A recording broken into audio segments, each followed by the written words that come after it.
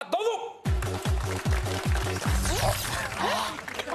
ライブ中感動の押し売りが強めのナオトインティライミ。今君を今の君をいつまでも忘れないから。ありがとう。ダメだ俺もう泣いてるわ。もう泣いてるわ俺。なんかさみんなと同じ目線で歌いたくなった俺。座っちゃおうか。は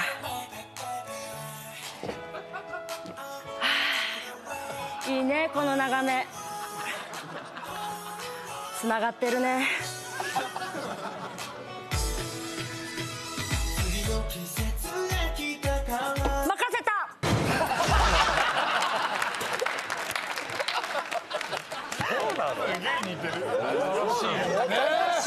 金太郎はでもあの後からもいっぱいネタ割と作って頑張ってやりますよね。